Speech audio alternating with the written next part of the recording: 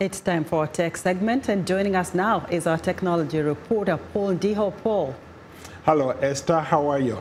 The rapid growth of the internet across Africa is connecting millions of people on the continent, but it's also creating new opportunities for cyber crime, which cost African countries billions of dollars every year.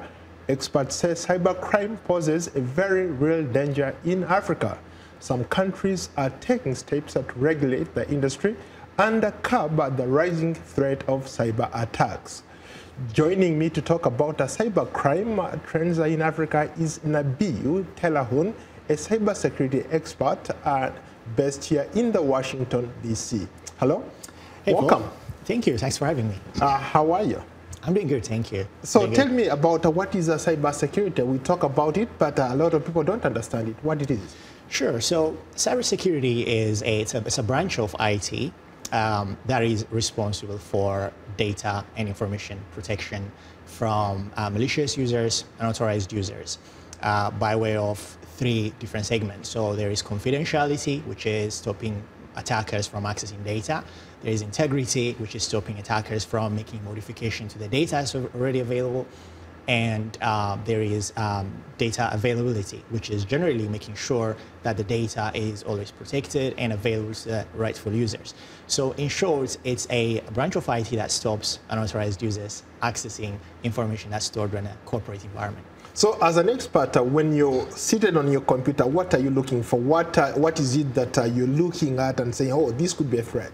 Sure. So there are um, many uh, technologies and uh, systems that are put in place in most government agencies or corporate environments. Um, to circumvent or detect and mitigate risks that's been posed by attackers worldwide. So sometimes you will notice that there are data that should be available that's not available anymore, or there is a, a malfunction of systems that you're expected to work doesn't work anymore or there is a constant what's called denial of service attack, which is stopping people from accessing systems. So these are the kind of signs that you do get generally when you sit on a computer and try and figure out what is going on. Uh, Africa is not uh, immune when it comes to cyber uh, cybercrime or cybersecurity. Uh, so, what are some of those uh, trends on the continent?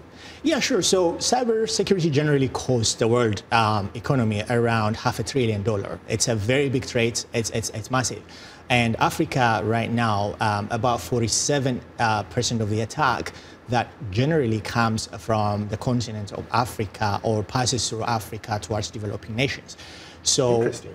And and the problem the problem with that is that it's not something you can isolate by saying or develop you know developed nations should protect their own systems without really addressing the issue in Africa. And it's like climate change, right? So you can't look at it in isolation. Everybody has to take a part.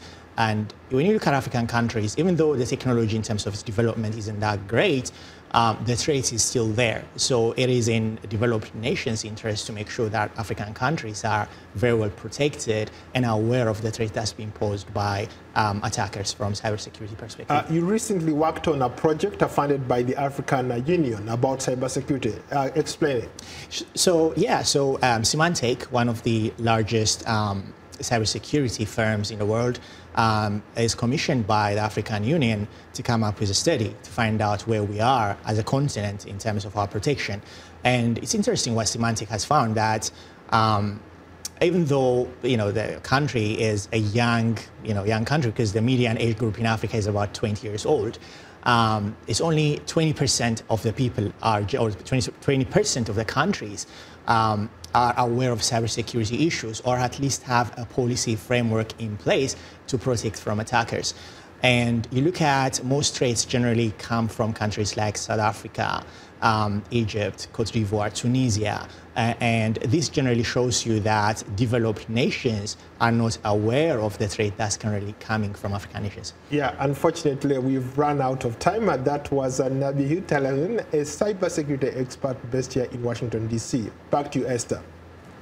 Thank you, Paul. And that's our show for today. From all of us here in Washington, have a very good evening.